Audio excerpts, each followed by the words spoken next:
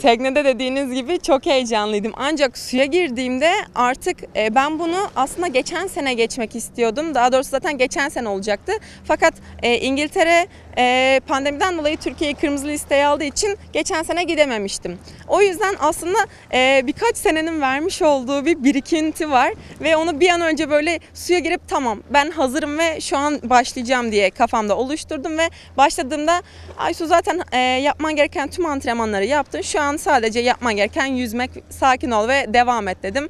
Yani suya girdiğimde her şey çok güzeldi. Manş öyle bir cehennem ki e, bazen e, büyük bir savaş vermek zorunda kalıyorsun ama hak edene de sonunda o başarıyı veriyor Manş izin veriyor sana kendisini geçmesini.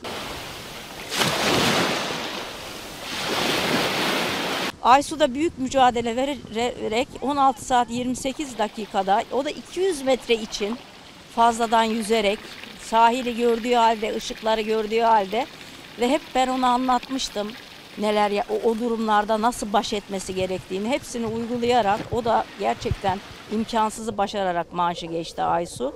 Çok güzel oldu. Yani hiç önemli değil yaşadıklarımız. Ee, önemli olan Aysun'un orayı bitirmesiydi.